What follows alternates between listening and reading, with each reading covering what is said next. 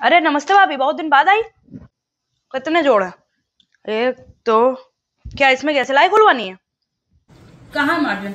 देख लीजिए खुद देख लीजिए इसमें क्या होगा? ना फिटिंग आएगी ना कुछ। देखिए मास्टर जी इसमें है फुल अलाइवर यहाँ से पहनी ना पजामी? आप सीधी खड़ी रही फिर ना गड़बड़ा आप सीधी खड़ी रही तीन चार हफ़्ते दुकान बंद थी पड़ी थी शादी लगी हुई थी ना। सब हमें तो सिल के दिया और क्या? पड़ी थी अरे पड़ी थी चोपड़ा। हफ़्ते में नहीं हो पाएगा।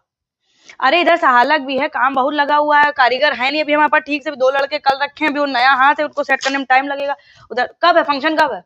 दिसंबर में है ना तो दिसंबर पहले हफ़्ते में ले लेना। नहीं नहीं, शिकायत, तुम्हें पता है काम हमारा कैसा रहता है, शिकायत का मौका रहेगा नहीं। और सुनो, इस बार रसीद मत खोना।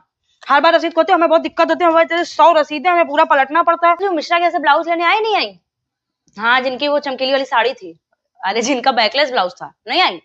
लग रहा है साड़ी ऐसे ही पहन ली, बैकलेस ब्लाउज की जगह ब्लाउजलेस साड़ी पहन ली उन्होंने। कौन सा ब्लाउज? हाँ तो परसों बोला था ना तो अब तो आज हो गया है। हाँ परसों लीजिएगा। अभी कटा भी नहीं है आपका ब्लाउज उसमें बहुत काम है। हम्म ठीक। अरे मैडम किसका फ़ोन था?